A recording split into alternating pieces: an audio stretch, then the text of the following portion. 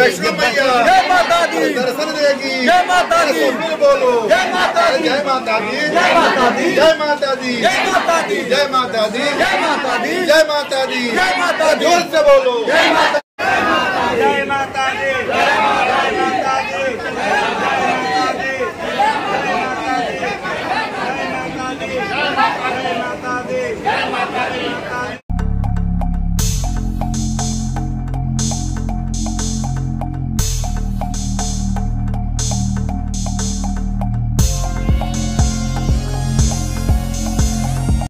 IGIMS के मशहूर गैस्ट्रोइंट्रोलॉजिस्ट पेट, आंत एवं लीवर रोग विशेषज्ञ डॉक्टर ब्रजेश कुमार सोमन इंडोस्कोपी की सुविधा के साथ अब आपके शहर सिवान में भी।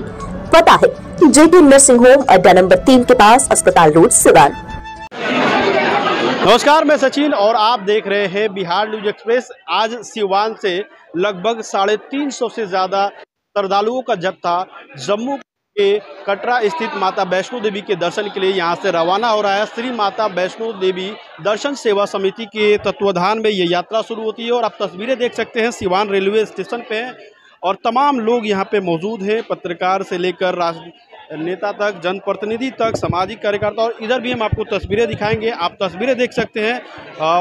जेंट्स के साथ महिलाओं की भी एक अच्छी खासी भीड़ है और लगभग साढ़े तीन सौ से ज़्यादा जो लोग हैं आज माता वैष्णो देवी के दर्शन के लिए यहाँ से रवाना हो रहे हैं और ये जत्था आज अमरनाथ एक्सप्रेस से रवाना होगा और हमारे साथ सामाजिक कार्यकर्ता विकास सिंह उर्फ़ जीशु सिंह है, जो श्री माता वैष्णो देवी सेवा समिति जो संस्था उसके संरक्षक भी हैं, इनसे बात करते हैं।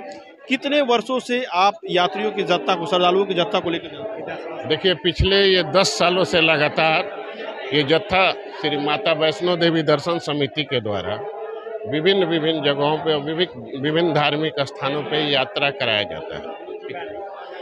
चूँकि इसकी शुरुआत बहुत मामूली 2012 में हुई थी और 10-15 आदमियों से शुरुआत हुई थी, जो वैष्णो देवी माता दर्शन समिति के नाम से अभी हम लोग तत्काल इसका रजिस्ट्रेशन कराने वाले हैं। और पिछले कोरोना काल में भी ये सामाजिक स्तर पर भी बहुत सारी कार्यक्रम स्थापित करते रहती है। और ये सनातन धर्म के प्रचार प्रसार का भी काम करती है। तो सबसे पहले तो हम इसके अध्यक्ष और बड़े भाई अरविंद जी को भी हम बधाई देते हैं। और पूरे टीम को इस पूरा एक एक माला की तरह पिरो के छोटे भाई मिथिलेश जी जो जत्था का नेतृत्व करते हैं, को हम बात देते हैं। हम लोग तो सहयोगी के रूप में एक काम करते हैं। लेकिन आज के तारीख में ये संस्था थोड़ा बड़ा हो चुका है। और आप देख रहे होंगे कि हमारी अंदर की मजबूती ही असली मजबूती होती है। जैसे सलूजा गोल्ड टीएमटी सरिया क्योंकि सिर्फ़ यही है 24 कैरेट गोल्ड की तरह असली स्टील से बना जो दे आपके निर्माण को बेमिसाल मजबूती अंदर से। सलूजा गोल्ड टीएमटी सरिया गारंटी असली स्टील की। गारंटी मजबूती की। माताएँ और बहनें जो धर्म के नाम पे बहुत अग्रेसिव रहती हैं वो आज आधी आबादी से अधिक लोग जा रहे हैं। और इसको सकुशल ले जाना और ले आना एक बहुत बड़ी ज़िम्मेदारी की है, जो हमारे छोटे भाई मिथिलेश जी द्वारा बखूबी निभाई जाती है। तो इसके लिए भी हम धन्यवाद देते हैं ये लोगों को और हम मंगल कामना करते हैं कि ये लोग जाएँ, सकुशल अपना यात्रा संपन्न करके और सकुशल वापस आएँ और जितनी भी मनोकामना है वो पूर्ण हो इनकी। यही शुभकामना हम इनको देते हैं। और हमारा अगला जो विचार है हमारी संस्था का, हम चाहते हैं जैसे अभी पिछले दस सालों से पाँच ऐसे गरीब व्यक्ति जो हैं, जो निशुल्क सेवा करते हैं और एक जो निशुल्क यात्रा करते हैं, हम चाहते हैं कि अगले साल से इसमें बढ़ोतरी हो। इस बार भी कुछ जो गरीब हैं, जो यात्रा बिल्कुल बिल्कुल। ऐसे पाँच लोग निशुल्क जा रहे हैं एक पत्रकार भी जा रहे हैं जो कभी किए हैं उनको हम अपने तरफ़ से भेजते हैं। अध्यक्ष जी हैं मिथिलेश सिंह वरिष्ठ पत्रकार हैं दैनिक भास्कर के और इनसे बात करते हैं कितने लोगों का जत्था यहाँ से रवाना? जय माता दी। आज यह दसवा साल है और हम लोग माता रानी के दर्शन के लिए रवाना होंगे। इस जत्था में माता रानी की असीम कृपा से दो सौ इक्यावन श्रद्धालु शामिल हुए हैं। और इस जत्था को ले जाएँगे हम लोग माता रानी का दर्शन करेंगे। उसके बाद माता रानी के मायके भी हम लोग जाएँगे। जहाँ माता रानी कुएँ से पानी निकालती थी, उस पानी को, उस जल को भी हम लोग, अमृत समान जल होता है, उसको भी हम लोग प्रसाद के रूप में ग्रहण करते हैं। बाबा श्रीधर के भी घर जाते हैं हम लोग, वहाँ भी श्रद्धालुओं को। इस बार सब कितनी महिलाएँ और कितने पुरुष इस यात्रा में? इसमें लगभग 80 ऐसी महिलाएँ हैं जो नए, पहली बार पहली बार उसमें शामिल हो रही हैं। और उनकी और देख रेख ले जाने के लिए एक टीम भी गठित की गई है, जो इन नए श्रद्धालुओं को विशेष तौर पर करते हुए हम लोग ले जाएँगे। इसके लिए कई विंग बनाए गए हैं प्रभारी गए यात्रा प्रभारी बनाए गए हैं, पुरुष प्रभारी बनाए के अंडर में छोटे छोटे पार्ट में यात्रा प्रभारी बनाए हैं और इसी तरह हम दिनों में यात्रा फिर वापस आएँगे। वरिष्ठ पत्रकार अरविंद तमा फेफड़ा कैंसर टीबी आदि से है परेशान तो Iman TB chest and heart care clinic है एक बेहतर समाधान। संपर्क करें डॉक्टर आज़ाद आलम से centre point Chakiya road Siwan. Pandey ji हैं राष्ट्रीय सहारा के ब्यूरो चीफ हैं इनसे बात करते हैं जो ये जत्था जा रहा है, कितने दिनों की यात्रा होगी किस ट्रेन से जा रहे हैं और इतने लोगों को ले जा रहे हैं, किस तरह की आपको सुविधाएँ? जय माता दी, ये यात्रा छः दिवसीय होगा और ये अमरनाथ एक्सप्रेस से हम लोग जाएँगे और इसी ट्रेन से आएँगे। और इस दौरान जो है माँ श्री माता वैष्णो देवी का दर्शन के साथ साथ आसपास के भी वहाँ तीर्थ स्थल है, उनका सब पर भ्रमण कराया जाएगा, सबका दर्शन कराया जाएगा। माता रानी से कृपा की जाएगी। माता रानी पर के अनुरोध किया जाएगा कि सब पर कृपा बरसाए और सब लोग सुख शांति से रहें। कितने गरीब लोगों को ले जाया जा रहा है और कौन कौन से लोग हैं और कौन से पत्रकार भी इस यात्रा में शामिल हुए? क्योंकि यह यात्रा हमेशा से निःशुल्क जो गरीब लोग हैं जो यात्रा नहीं कर सकते उनको भी ले जाती है। गरीब के का प्रश्न नहीं है। प्रश्न यह है कि कोई जो नहीं जा सकता है उसको हम लोग ले जाने का प्रयास करते हैं। ज़्यादा से ज़्यादा हैं लोग। अब उसकी गणना मैं नहीं बता सकता हूँ सही सही और सब लोग जा रहे हैं पत्रकार लोग भी जा रहे हैं। सब लोग यात्रा करने रहे जय माता दी जय माता ये वरिष्ठ पत्रकार अमरनाथ जी भी हैं। इनसे भी बात है। क्या कुछ कहेंगे? कहना यही है कि जो मिथिलेश जी का जो प्रयास है जो माता वैष्णो देवी सेवा समिति जो आगा जो श्रद्धालुओं को दर्शन के लिए ले जाया जा रहा है बहुत ही पुण्य काम है और इसमें सबको सहयोग करना चाहिए।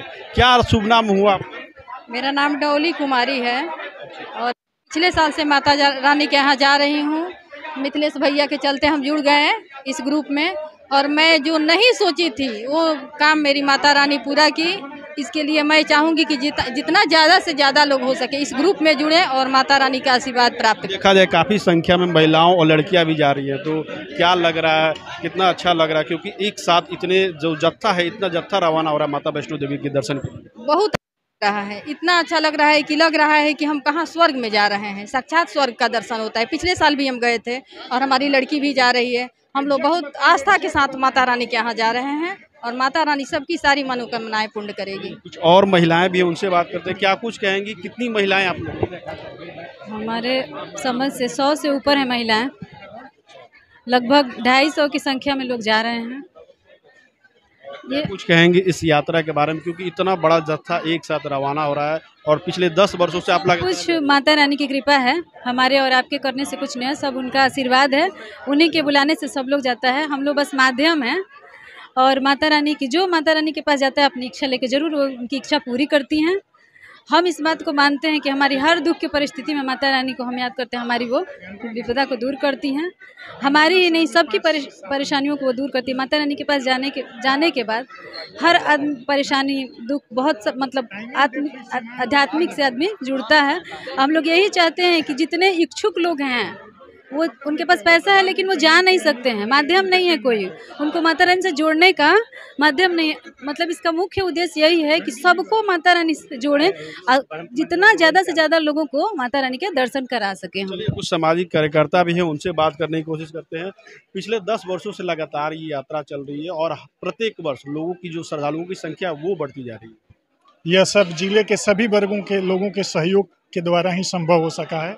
श्री माता वैष्णो देवी दर्शन समिति 10 वर्षों से भव्य तरीके से इस धार्मिक आयोजन को आयोजित कर रही है, जिसके माध्यम से हज़ारों लोग श्री माता वैष्णो देवी का दर्शन कर चुके हैं और भारत के कण कण में मौजूद आध्यात्मिकता को का प्रसार कर रहे हैं। धन्यवाद। कुछ बच्चियाँ हैं, आप लोग क्या पहली बार जा मैं पहली बार जा रही हूँ। क्या कहेंगी जो श्री माता वैष्णो देवी दर्शन समिति है उनके द्वारा?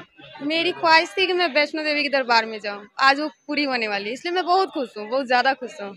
हम जय माता और लड़कियाँ हैं उनसे ही बात करने की कोशिश कर रहे हैं। कब पहली बार जा रही नहीं दूसरी बार जा रहे हैं। बहुत जत्थे के साथ दूसरी बार हाँ दूसरी बार। बहुत अच्छा लगता है वहाँ जाने के बाद। आने का मन नहीं करता है वहाँ से। और बताइए। चलिए कुछ और महिलाएँ हैं उनसे ही बात करें क्या कुछ कहेंगी आज वैष्णो देवी के दर्शन के लिए आप जा रही हो? पहली बार जा रही हूँ। पहली बार जा रही हाँ। कैसा लग रहा है? बहुत अच्छा लग रहा है। इतने सारे लोग जा रहे हैं तो क्या कहेंगे इसके बारे में? चलिए कुछ और लोग हैं हम बात करने की कोशिश करेंगे। हमारे साथ सामाजिक कार्यकर्ता बबलू सिंह जी हैं, अब उनसे भी बात करने की कोशिश करते हैं और लगातार ये लोगों की मदद करते हैं, सामाजिक कार्य में लगे रहते हैं। बबलू जी, लगातार आप यात्रा करते हैं और बबलू जी के बारे में एक और चीज़ बता दें, प्रत्येक महीने ये माता विंध्याचल के ये दर्शन करते हैं और इन्होंने अब निर्णय लिया है कि प्रत्येक माता, प्रत्येक महीने में माता वैष्णो देवी की भी दर्शन करेंगे। कहाँ से इतना प्रेरणा, ऊर्जा मिलती है माँ के दरबार आने जाने से हो गया। जाने से प्रेरणा मिल गई। आप लोग के मतलब आशीर्वाद से मिला मेरा इसमें कुछ नहीं है। क्या कहेंगे इतने बड़ी तादाद में श्रद्धालुओं का जत्था रवाना अंदर से लोगों को अंदर से मैंने हिंदू धर्म के प्रति सनातन धर्म के प्रति ऊर्जा अपने आप पैदा हो चुका है। किसी को कहने का ज़रूरत नहीं सब कोई अपने आप निकल चुका है घर से जाने के लिए। यही हमारे साथ अ, मुखिया जी क्या कुछ कहेंगे इस यात्रा के बारे में? क्योंकि देखा जाए तो लगभग ढाई सौ से ज़्यादा लोगों की जो श्रद्धालु हैं वो इस जत्था में देखिए इसके जो संयोजक हैं अध्यक्ष हैं उनको बहुत बहुत देंगे कि इतने बड़ा जो है, माने लोगों को लेकर और धर्म का धार्मिक कार्य कर रहे हैं इसके लिए हम उनको बहुत बहुत बधाई देंगे कि बहुत अच्छा काम करने काम कर रहे हैं। जिला परिषद के उपाध्यक्ष है और ये क्या कुछ सेवा के भावना से लाए हैं? अरे श्रद्धालुओं के लिए लाए हैं जो जो मदद रहे हैं।